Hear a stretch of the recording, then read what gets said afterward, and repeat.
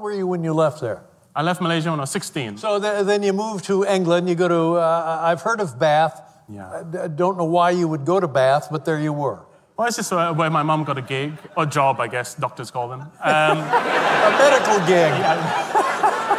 yeah, there's a hospital there. They were like, come do a gig at this hospital. And the, the, culturally, the differences night and day, I guess? Well, I mean, Bath is a very white city, even for England. I mean, Bath is a town for people who find Idaho too ethnic. You know what I mean? It's- and so, yeah, it was a culture shock for sure. Especially finding out what the, the name Wang means in, in the English speaking West. Oh, you haven't heard? Uh, well, it means um, in, in, in Chinese, Wang, we pronounce it Wang. It's very common names like Smith. And it, it means king. Very elegant. oh, lovely. Yes. King, yeah. Um, in America and the UK, it means your, um, your, your dick. Uh, it's, a, it's a bit of a fall from grace. And I, the way I found this out was I was at school in Bath, and I was just minding my own business, and one of the rugby boys from the year above came over, and he just went, hey, look, hey, and he sort of gestured down at his crotch.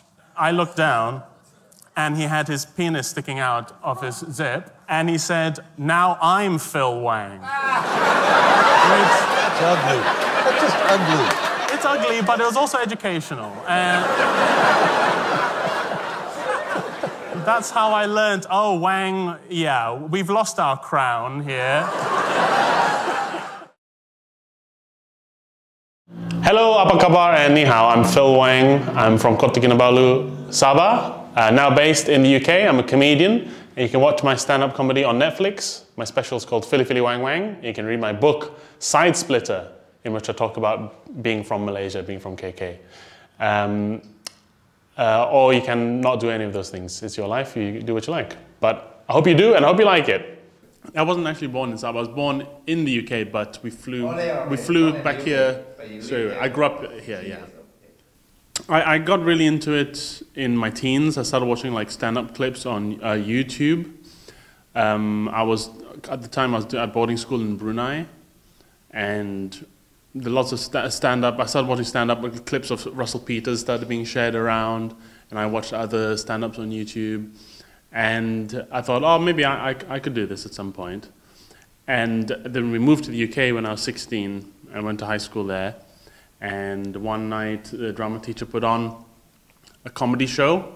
And I asked, I, I asked to do five minutes of stand up. And he was surprised because I wasn't, exact, I wasn't known as a funny person at all.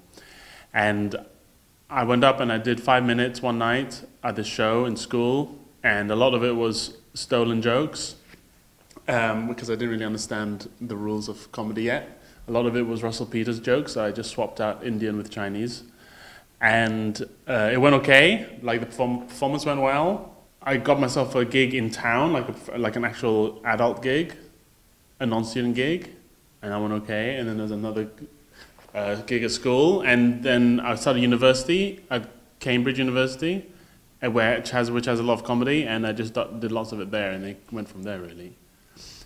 I think some sometimes I mean not not so much in in comedy because you know it's it's part of the artistic community and the creative community has always been um, more sort of open-minded and accepting than other groups. Um, if there ever has been any prejudice, it's been pretty sort of pretty mild prejudice really. Um, people assuming I'm not uh, British. A lot of people have assumed I was uh, American because you know international school international students sort of pick up this kind of American accent. Um, but uh, from time to time, there's a slightly racist comment from the audience. But I remember, I, I remember, I got, I got up on, I got up on stage once in London. This was when I was just starting out, and the guy saw me, and before I said anything, he said, "Oh, num- one, number 69, please." Because uh, Chinese takeaways all have numbers in the UK. And yeah, and so you combine like a sex joke with a chi- and with a racist Chinese joke together. So I guess my message would be uh, comedies for everyone, even if you're from Sabah. um, I mean, my memories are of being very hot, um, and but mainly of food. um, laksa, and uh, laksa char kway teow, watan ho. Still all my favorite, my, still my favorite dishes. You know, still my favorite food.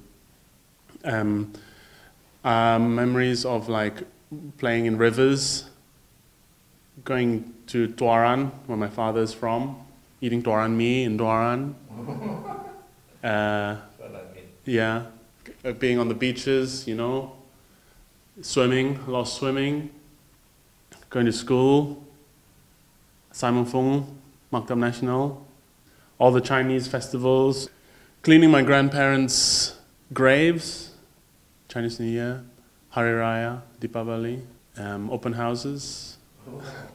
yeah, of course. I mean, I, I know Jason Leong. Do you know Jason Leong? He's a KL. He's from KL. He used to be a doctor, and now he's um, a stand-up comedian.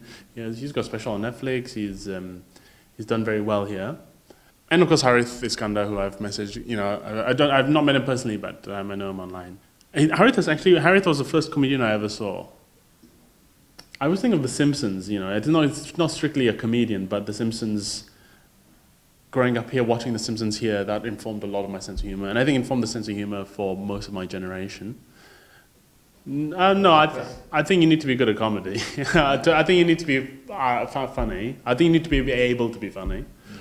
Um, and you have to be able to survive great humiliations because when yeah when a show goes badly there's there's no humiliation like it and every time you get on stage you're basically entering a casino Yeah. where your dignity is at stake and um, Yeah. you get better better at playing the game but you still you're still never guaranteed not to die on stage and so I think that what the moment that is often said makes a comedian is the first time they die on stage. If they come back, then they're a comedian. If they don't come back, then they were never meant to do it. Yeah. White and Chinese. Those are my races fundamentally. White and Chinese. Phil and Wang. White and Chinese. I'm the most powerful race on earth. I got the big ones, baby. Smush them together. I'm white and Chinese. I mean, people have tried to tell me that I'm a minority. I'm like, I'm both majorities. I'm white and Chinese. Yeah. You can't touch me. I'm Pepsi and Coke. I got full market share. They sell Wang everywhere.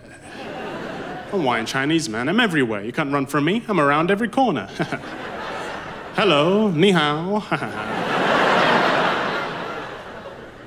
I'm alien and predator. I'm and Chinese. I'm future proof, baby. Completely future proof. No matter what happens over the next 50 years, Wang or Phil is fine.